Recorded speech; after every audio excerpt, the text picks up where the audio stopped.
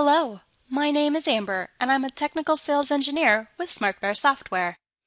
Today, I'll show you how AlertSite UXM can help you maintain or even improve the standards of availability and timeliness that matter to you and your company. An SLA, or Service Level Agreement, is where an expected level of service is formally defined. These agreements govern metrics such as the response time of various elements on your page, as well as the availability of your website or application.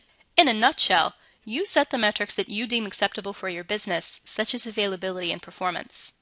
Availability is defined as services being available from a specific location, whereas uptime is defined by your website or application being available from at least one location. For example, if you were monitoring from three locations and one location could not access the desired services for a 24 hour period, you would have 66% availability, but your uptime would be 100% because the remaining two locations did not receive errors.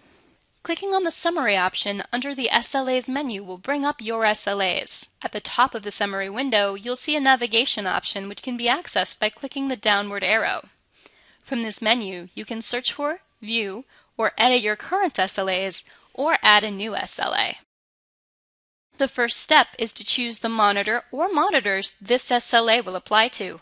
Give your SLA a descriptive, unique name and define goals for your availability, uptime, if applicable, and performance. For this SLA, my availability goal is 99% and my performance goal is 25 seconds. After entering the metrics for my SLA, I'll click Finish. Now I can see that the monitor I've selected is 99.65% compliant with the SLA I've just configured. Operating periods and exclusions allow you to block out times when you do not want your SLAs to apply. Monitors will still run, however the results are not included in SLA calculations.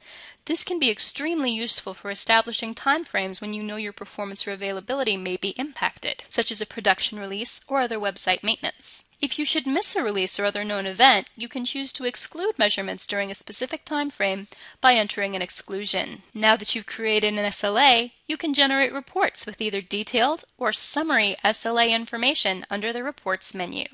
These reports can be viewed instantly, downloaded or printed, emailed to yourself or others, and even scheduled to run on a regular basis. You can also access the Reporting API, which will allow you to generate the report externally so that you can import the data directly into your own reporting system. Today, I discussed SLAs and showed you how to create them, edit them, and report on the data they provide. Thank you for watching.